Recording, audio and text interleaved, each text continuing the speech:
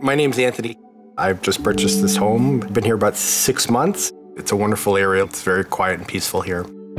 I had a friend come over saying you should get some fire alarms. It's a log cabin, there's a lot of wood, and I did.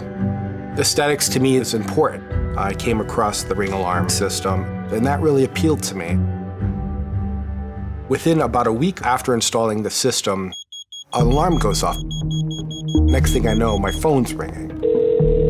Hello? Hello, this is Linda with Ring Alarm Monitoring. I had given Anthony a call and I told him that we received a carbon monoxide alarm. I was burning incense. I had to advise him, I was like, sir, I've already dispatched the fire department, they're on the way. Really? Can you cancel them out? I told him because of the urgency of this alarm, the fire department does have to respond and check everything out just to make sure everything's safe.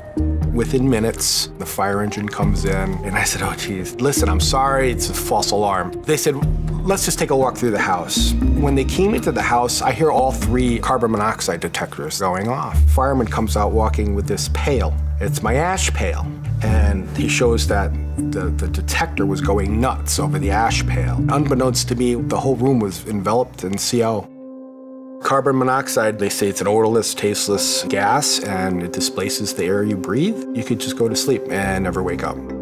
If Ring didn't call and if I didn't sign up for Protect Plus, I really think that I could have died.